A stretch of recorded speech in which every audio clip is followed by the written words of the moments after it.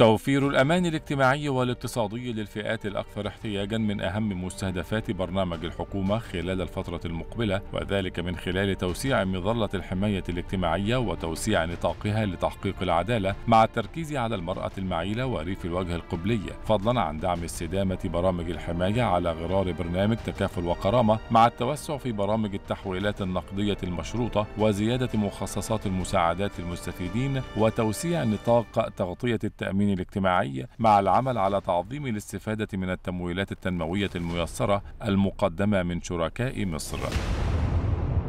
برنامج الحكومة تبنى أيضا فيما يتعلق بالشق الخاص بحياة كريمة التوسع في برامج الاستهداف الجغرافي للمناطق الأشد فقرا والمناطق النائية والمهمشة وبالتوازي العمل على جذب المزيد من الاستثمارات في الصناديق المالية الاجتماعية بهدف محاربة الفقر والمرض ومنع التسرب من التعليم وزيادة حجم المساعدات العينية والنقلية المقدمة للأسر الأكثر احتياجا. منح الأولوية القصوى للفئات الأولى بالرعاية ركيزة أساسية في برنامج عمل الحكومة الجديدة أيضا مما يعكس رسالة مفاداها محورية اهتمام الدولة وتمكين كل الفئات المجتمعية دون إغفال لأي فئة مثل الأطفال وكبار السن. أما ذوي الهمم فلهم اهتمام خاص في البرنامج. من خلال توفير كافة أوجه الدعم لهم وتأهيلهم ودمجهم في المجتمع وتوفير فرص عمل ملائمة لهم وتأمين حياة كريمة لهم بما في ذلك حقهم في الضمان الاجتماعي ودعم التمكين السياسي لهم وضمان تمثيلهم بشكل لائق في المجالس النيابية ويشتمل البرنامج أيضا على تحسين الأوضاع المعيشية للعمالة غير المنتظمة وتوفير برامج الحماية لضمان حياة